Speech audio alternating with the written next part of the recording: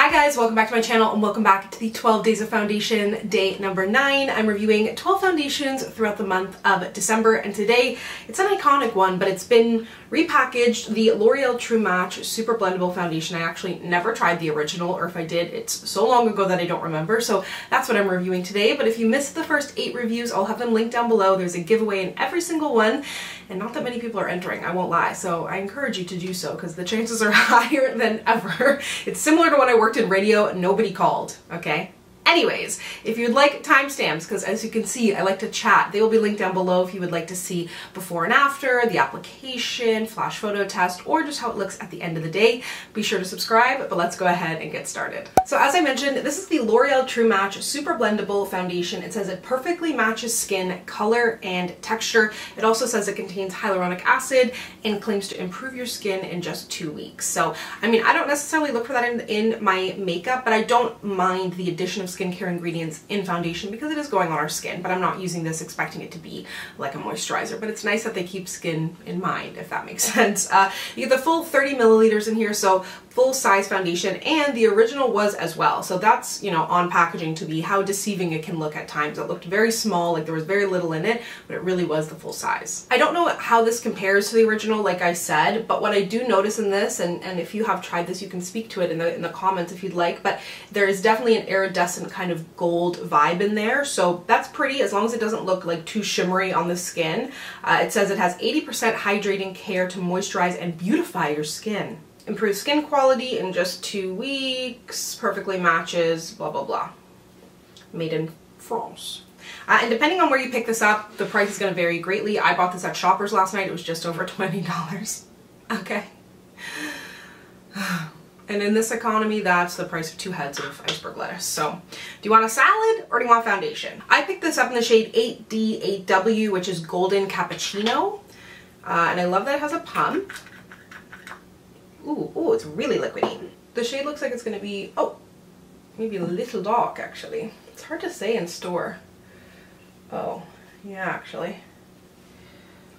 It's much more, um, like the shades come in warm, neutral, and cool. And I guess I shouldn't have gone so warm, but in store it looks so neutral. If you use this foundation, let me know. Maybe I should have gone 8C that's also on the store. That's the thing. Like this comes in 45 different shades, which is amazing, but it's up to Shoppers Drug Mart, Walmart, Ulta, whoever to stock the shades. Right, so when it comes to that, it's, it's a retailer issue, which is really uh, annoying. And then of course, depending on where you live, in your city, in the country, whatever it might be, uh, it's gonna vary. So it's like, that's great that L'Oreal came out with 45 shades, but if shoppers decides they don't wanna put all of them there, they're probably gonna choose the beige ones, you know? and that's what can be really uh, hard because it's like, it doesn't give you the option then what you have to buy it online. And it's already hard enough to match yourself. and looking up really close on my skin, my eyes almost have like crossed to be able to see the shimmer on my skin so it doesn't look uh, super glittery or anything like that. It looks really natural, blends out really beautifully. And although it's definitely a little bit warmer than I might have gone for, and maybe if I didn't have so much chest exposed today, but it's not a tragic match. But 8C could have been the move instead of 8W perhaps. It just, in the packaging, still truly, it looks so much more neutral. But I love the way it looks. Turn my light down a little bit and get up close so you can see. Glitter check. Looks really nice, right?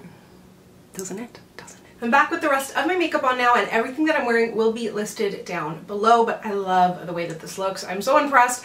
I can kind of get and understand why this is such a cult favorite foundation. Really, really easy to use, looks beautiful on the skin, and feels really, really lightweight.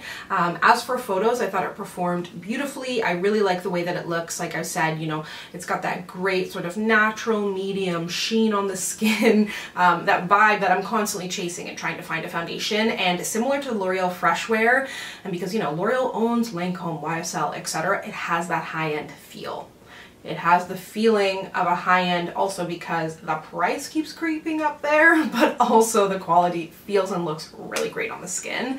Um, so I'm, I'm pretty impressed so far, but I'm gonna go ahead and wear this for a couple of hours and I'll check back with you in some natural light. Hello, coming to you midday, beautiful sunny day for once. My foundation looks great. Uh, like I mentioned, it's not my absolute favorite shade. I probably could have done the neutral, but it's not a bad shade either. And it's so funny because I know I said this, but like in store, I thought, wow, I wish there was a shade above this because it looks like it's going to be too light. So definitely keep that in mind. Watch some YouTube reviews, look up some blog posts, etc. Um, before you pick it up in store. But I do think it looks really good. My natural oils have started to come through. Uh, it feels a little bit heavier now uh, than it did when I initially applied it, but that's what kind of happens when my face gets a little bit oilier. But overall, I think it looks great. Uh, but I'll check back with you this evening. Since I've seen you last, I've been to jail and got a teardrop tattoo, so you know what that means. Actually, no, I took a nap. I don't know what happened to my mascara here, but the foundation I think looks good. Uh, the shade match, not so much. Too warm, a little bit too deep. As I've said now three times, I would probably try the 8N. I'm trying to compare it in my mind because I haven't worn it in a while to the L'Oreal Fresh Wear. That is one of my favorite foundations. That's definitely a better reco if you have um, a more combo oily skin type in my opinion. This is maybe for more natural dry folks, but I think it's pretty. The, you know, shimmeriness that was in there didn't really um, add any like glitter look to my face. It didn't look like it highlighted any texture. Went on super smooth.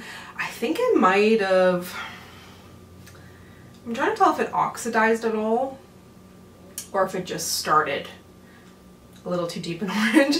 But I do think it's a really pretty foundation. I definitely want to try out my other shade. I can see why people really like it, uh, especially from the drugstore. The formula is thin, it goes on really nice, it photographs well, it wears very well, um, and I do like the look. It's just a little bit of a shade issue right now. So right now, Fresh Wear wins for me. Uh, I also love the Fresh Wear Concealer, the Powder Foundation, um, those are both all really, really good from L'Oreal. So this one is still really, really good, but I am on, as always, a journey to find my perfect shade. If you wear my shade and foundations, I would love to know what shade you are down below, uh, but I think it's a, it's a pretty one. Uh, let me know if you have tried, because I know it's so, so popular, but some of the ones that are really, really popular end up getting overlooked for me because, I don't know, I just I just don't see them anymore. But I do, uh, I do enjoy this one. So let me know down below what you think. And as always, if you'd like to connect with me, you can find me on Instagram, Twitter, and TikTok at Samantha Jane YT. And I'll see you guys next time. Bye.